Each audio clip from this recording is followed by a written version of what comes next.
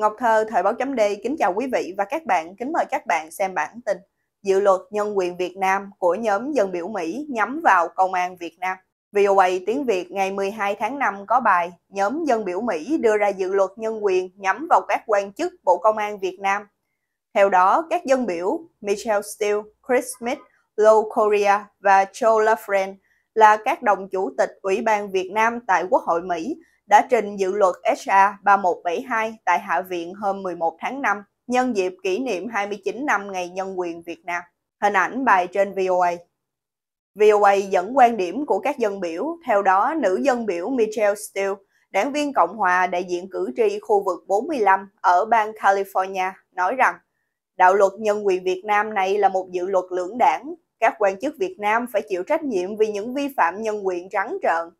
Chúng ta phải cấm mọi khoản tài trợ trực tiếp hoặc gián tiếp cho Bộ Công an Việt Nam. Họ thực sự đang tham gia vào các hoạt động gián điệp tấn công không gian mạng. Chúng ta phải buộc họ dừng lại tất cả những điều này. Ngoài ra, chúng tôi kêu gọi hạn chế hỗ trợ phi nhân đạo cho chính phủ Việt Nam cho đến khi đạt được các tiến bộ nhân quyền nhất định, bà Steele nói. Dân biểu Low Korea, đảng viên Dân Chủ, đại diện khu vực 46 ở California cho biết Chính phủ Việt Nam cần phải chịu trách nhiệm về những vi phạm nhân quyền nghiêm trọng ảnh hưởng đến các cử tri của tôi và gia đình của họ ở Việt Nam hàng ngày. Dân biểu Joe LaFrance, đảng viên Dân Chủ đại diện cho khu vực 18 ở California, cho rằng đạo luật nhân quyền Việt Nam sẽ giúp cung cấp cho người dân Việt Nam những công cụ và thông tin họ cần để đấu tranh cho sự thay đổi từ bên trong, và nó sẽ buộc chính phủ Việt Nam phải chịu trách nhiệm về những hành động tàn bạo đó là một dự luật vừa mang lại lợi ích tốt nhất cho Hoa Kỳ và vừa cho cả khu vực Ấn Độ Dương-Thái Bình Dương. Hình ảnh bốn dân biểu Michelle Steele, Chris Smith, Lou Correa và Joe LaFrance, những người trình dự luật HR 3172.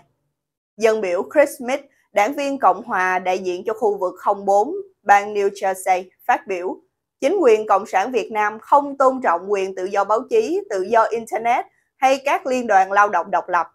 Chính phủ đã thất bại trong việc bảo vệ phụ nữ và trẻ em gái khỏi nạn buôn người và việc đàn áp tôn giáo của họ, bao gồm cả giáo hội công giáo, đã đặc biệt trở nên tồi tệ hơn trong năm qua, khiến cho Bộ Ngoại giao Mỹ đưa Việt Nam vào danh sách theo dõi đặc biệt và Ủy ban Hoa Kỳ về tự do tôn giáo quốc tế liệt Việt Nam vào diện một quốc gia cần quan tâm đặc biệt. Theo VOA, dự luật HR 3172 còn hối thúc nhánh hành pháp Hoa Kỳ thực hiện các biện pháp trừng phạt chính đã được quy định trong đạo luật Magnitsky toàn cầu và đạo luật tự do tôn giáo quốc tế bao gồm từ chối cấp thị thực và trừng phạt tài chính đối với các quan chức Việt Nam vi phạm. Bên cạnh đó, VOA cho biết giới tranh đấu cho nhân quyền và tự do tôn giáo cho Việt Nam bày tỏ sự ủng hộ đối với dự luật lưỡng đảng này. Từ Virginia, ông Phan Thông Hưng, đại diện cho ban tổ chức Ngày Nhân quyền Việt Nam 11 tháng 5 nói rằng Ông rất vui mừng về nỗ lực lập pháp mới này của các dân biểu Mỹ. Khi dự luật này thành luật, thì chuyện như các quan chức Việt Nam có hành động đàn áp tù nhân lương tâm, tù nhân chính trị thì họ sẽ bị ảnh hưởng rất nhiều. Đó là một điều răng đe đối với họ và cũng bảo vệ cho các tù nhân, các nhà hoạt động vì nhân quyền ở Việt Nam. Hình ảnh Bộ trưởng Bộ Công an Việt Nam Tô Lâm, người được cho là đã chỉ đạo việc đàn áp giới bất đồng chính kiến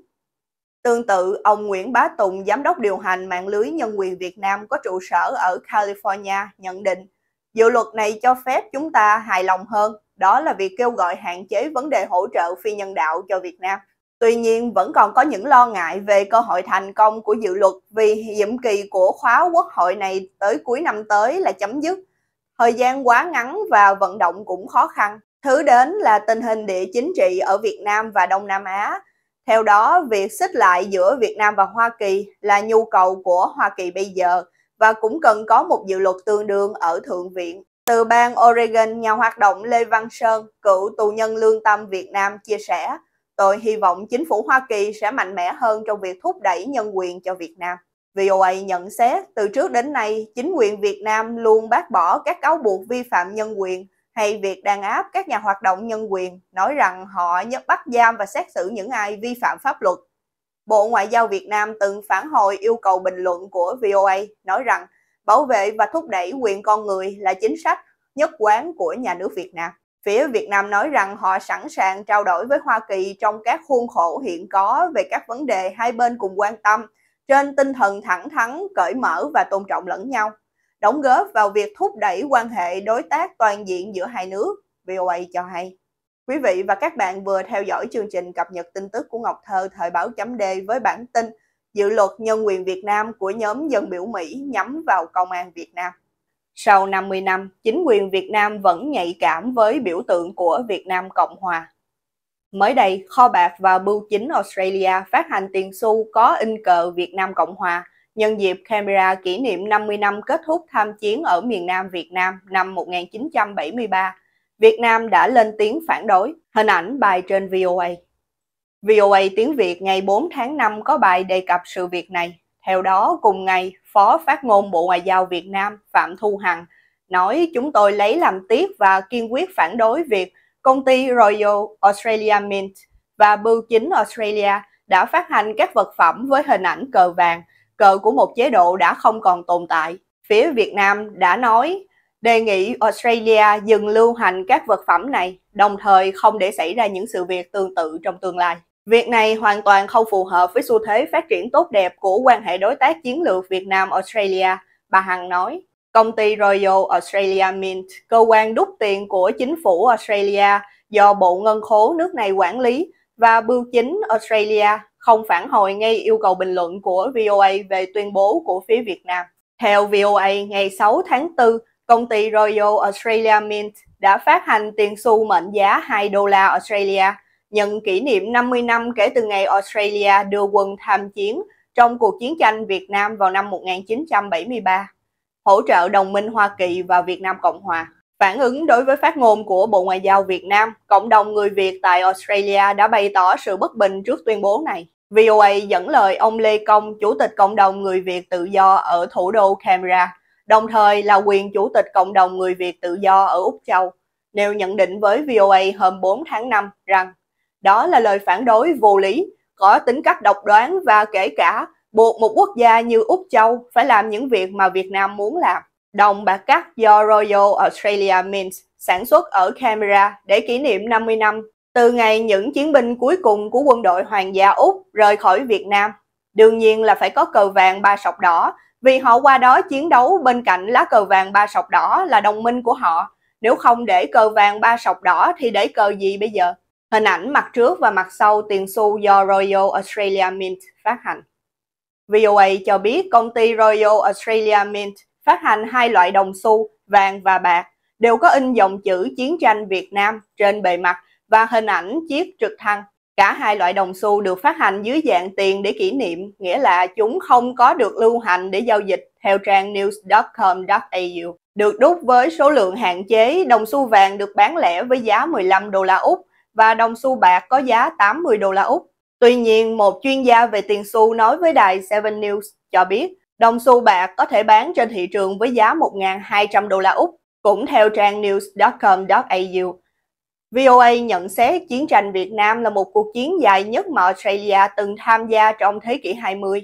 Với hơn một thập kỷ, với ban đầu chỉ từ một đội huấn luyện quân sự thành một tiểu đoàn và sau đó thành một đội đặc nhiệm. Các lực lượng lục quân, hải quân và không quân của nước này đều tham gia bên cạnh lực lượng của Hoa Kỳ và Việt Nam Cộng Hòa. Quân đội Úc đóng vai trò lớn với cơ sở hoạt động chủ yếu ở tỉnh Phước Tuy của miền Nam Việt Nam. Khoảng 57.000 quân dân Australia đã phục vụ tại Việt Nam, trong đó có khoảng 520 binh sĩ đã hy sinh và nhiều người khác bị thương, trước khi những người lính Australia cuối cùng rút về nước vào tháng 12 năm 1973. VOA cũng cho biết hôm 25 tháng 4, toàn quyền Australia David Hurley phát biểu nhân dịp kỷ niệm 50 năm ngày kết thúc cuộc tham chiến, ca ngợi tinh thần bất khuất và can trường của các binh sĩ nước này đã hy sinh vì đất nước. Ông nói, chúng tôi khắc ghi sự hy sinh tập thể của họ và ý nghĩa của sự phục vụ của họ đối với quốc gia của chúng ta.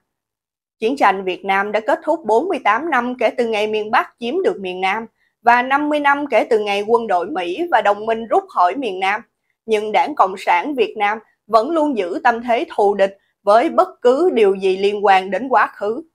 Quý vị và các bạn vừa theo dõi chương trình cập nhật tin tức của Ngọc Thơ thời báo chấm D với bản tin Sau 50 năm, chính quyền Việt Nam vẫn nhạy cảm với biểu tượng của Việt Nam Cộng Hòa. Quý vị và các bạn hãy chia sẻ video này để nhiều người cùng biết, cũng như bấm nút đăng ký kênh youtube và facebook của Thời báo chấm D để được cập nhật những bản tin mới nhất, nhanh nhất và trung thực nhất. Ngọc Thơ Thời báo chấm D